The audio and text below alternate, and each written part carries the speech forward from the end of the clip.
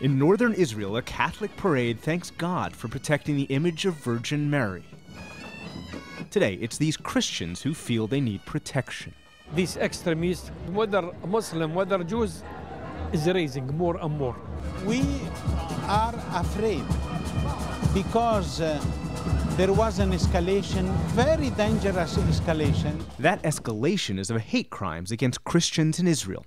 In this Jerusalem church, the words Jesus is garbage was scrawled on the side wall. At the Vatican's Jerusalem headquarters, recent graffiti threatened death to Arabs and Christians and all those who hate Israel.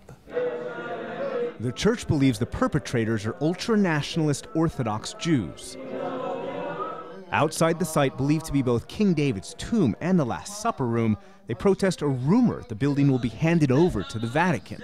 If someone will give up one inch from that tomb, they'll start a war between Jews and Christians. God forgive us.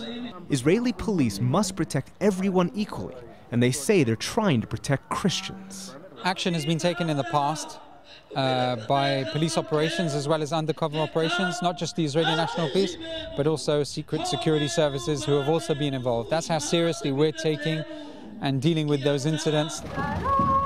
But the church believes this isn't only about police. The Holy Land's top Catholic official says some Israeli schools teach hate, some Israeli politicians preach exclusion. As the Pope arrives, some Christians living in what they consider the holiest place on earth say they feel neither welcome nor protected.